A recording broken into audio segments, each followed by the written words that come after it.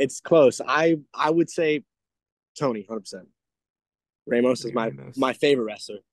You know, close seconds would be Kale, obviously, and then um I was a huge fan of Elias, as Elias. So Mhm. those are probably my top three.